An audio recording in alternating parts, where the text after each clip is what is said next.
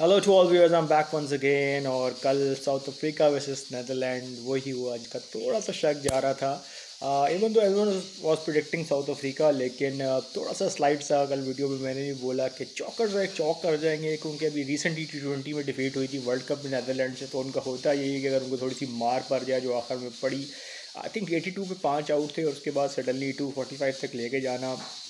बहुत ज़्यादा question marks हैं बॉलिंग पे कैप्टनसी पे, लेकिन टू फोर्टी फाइव करने के बाद भी ऐसा था कि साउथ अफ्रीका की चेजिंग एबिलिटी इतनी है, अभी रिसेंटली चार सौ अट्ठाईस मारा था श्रीलंका को, लेकिन चौक किया और दो फिफ्टी पॉइंट नैदरलैंड ने हासिल किए। अब नैदरलैंड के दो पॉइंट के साथ टूर्नामेंट वाइड ओपन हो गया है और इंग्लैंड और साउथ अफ्रीका को थोड़ी सी मुश्किल आगे होगी। जो भी बड़ी टीम छोटी टीम से हारेगी, उसको आगे जाके कहीं ना कहीं पॉइंट टेबल में मसला होगा। तो पाकिस्तान के लिए बड़ा फ़ायदा हुआ है, देखा जाए तो।